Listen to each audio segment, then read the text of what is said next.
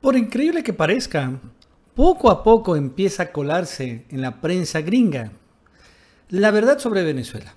La verdad es que si bien hay crisis política, que si bien, bueno, hay cierta decepción con Nicolás Maduro, de que si bien hay una crisis económica, pero lo cierto es que lo que nos ha pretendido vender Estados Unidos en torno a una gigantesca crisis humanitaria en Venezuela, que únicamente pueden comer de la basura, es no solo una exageración, una tremenda mentira. Y ahora, en este video te vas a dar cuenta de cómo se está colando ya la verdad, hasta en Fox News, en la cadena americana más derechista de Estados Unidos. Ya allí dijeron la verdad sobre Venezuela. Increíble. Pero vamos a ver finalmente cómo, cómo es la prensa latinoamericana y en, estadounidense.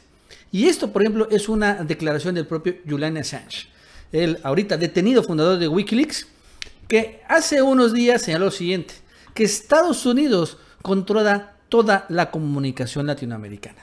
El periodista y creador de Wikileaks, Julian Assange, afirmó que el 98% de toda comunicación, cualquiera sea el medio, es enviada primero al país adalid de la democracia, Estados Unidos, y desde allí siempre pretenden cambiar la imagen, obviamente, a los intereses de Estados Unidos. Pero el 2% queda vivo. Y entre todo, ahorita estamos en un mundo en donde hay benditas redes sociales. Y poco a poco se va colando la verdad. Y por ejemplo, vamos a recordar qué es lo que nos quiere vender Estados Unidos en torno a Venezuela. Hablando y recordando lo que hizo Jorge Ramos. Hace como un mes y medio que fue, a Venezuela a provocar a Maduro. Después hizo todo un gigantesco circo porque lo detuvieron, todo este rollo. Pero lo más intrascendente fue el video que el propio Maduro, digo, eh, Jorge Ramos grabó, de cómo supuestamente en Venezuela la gente solo puede vivir de la basura. Vamos a ver, a recordar ese video. ¡Hola!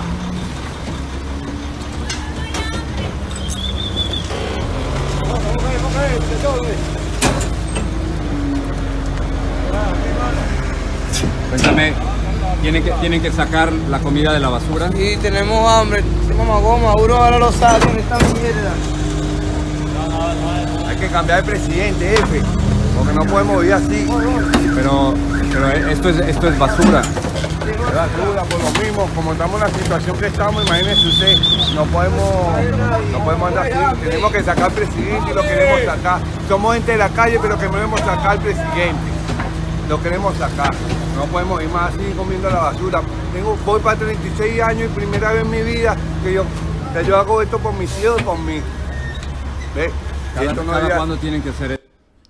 Y bueno, ahí estaba, pero a mí lo que me encanta esta parte es el video del señor de atrás, que lleva su 7-Up y lleva su morral de comida. Bueno, esto es lo que nos ha querido vender la prensa de Estados Unidos. También, por ejemplo, CNN, en un reportaje también hace pues, unos días, finalmente se lo mismo, ¿no? ¿Cómo? En, en Venezuela lo único que hay es basura para comer. Vamos a escucharlo. And you have really so many others rummaging through trash, something you and I would consider unconceivable, so common wherever we saw there. I mean, even ourselves, on an unlimited budget, we found it often quite hard to get food, and that is so staggeringly the reason why people are so furious right now. No, no hay comida en Venezuela. No hay esto y lo otro y lo otro y lo otro y lo otro. Lo que han dicho. Pero poco a poco se empieza a colar la verdad. Por ejemplo, digo, no se niega que hay una crisis económica. Pero bueno, los países se enfrentan a crisis económica y no por eso se quedan sin comida.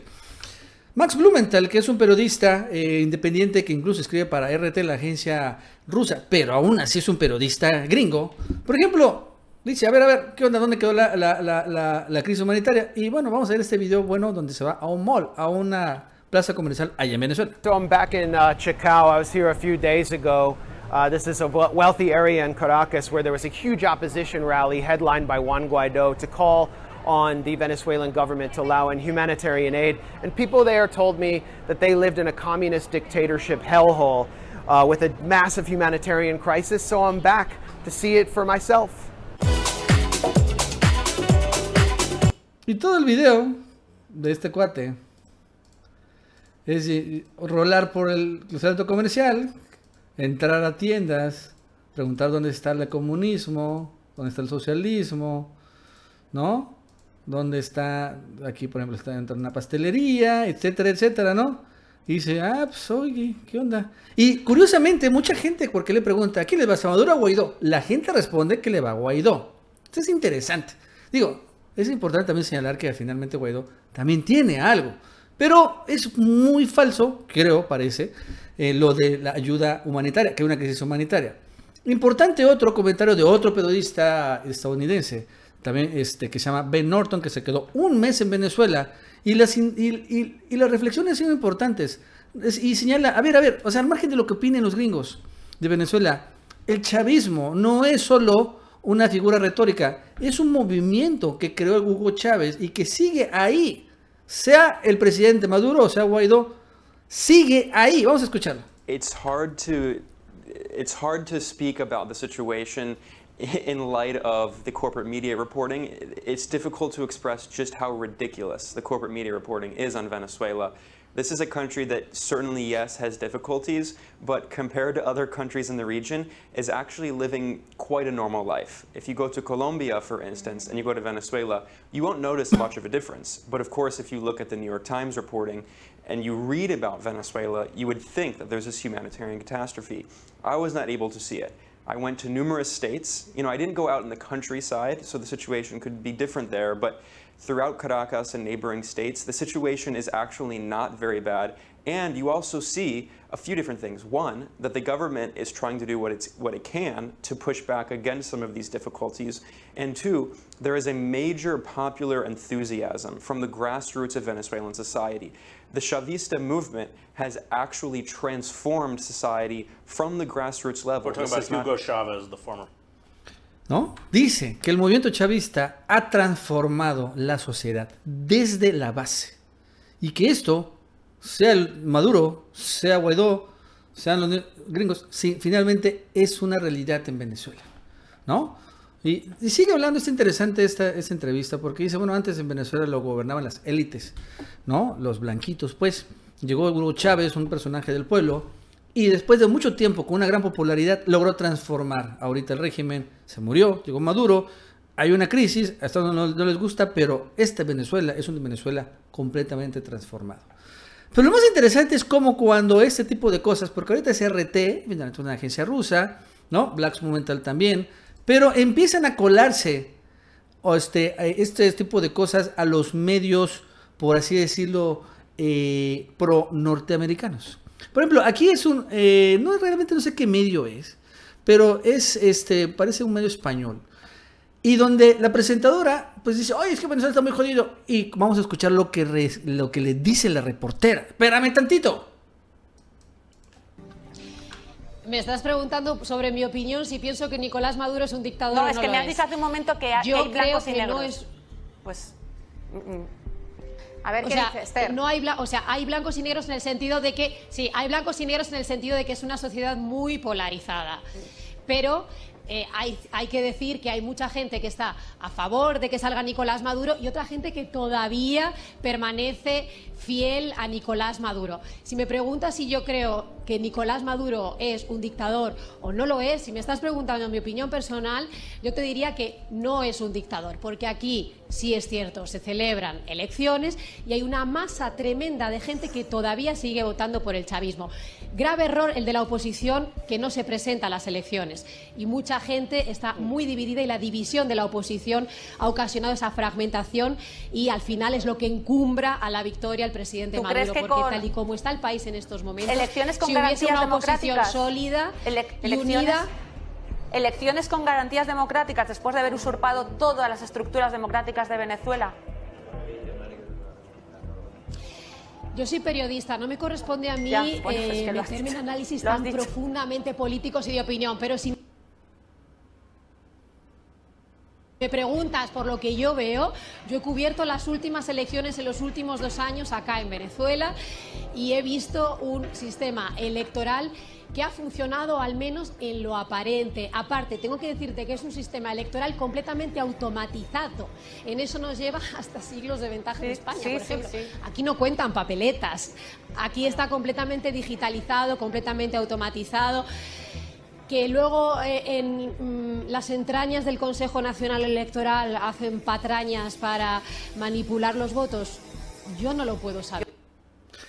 ¿Cómo la ven? Y la verdad es que cómo está la presentadora enojada, ¿no? Con esto que está diciendo la reportera, que señala, yo no considero a Maduro, y habla del sistema electoral venezolano, que en lo aparente, cuando me dice, funciona. Así que, espérame tantito, ¿no?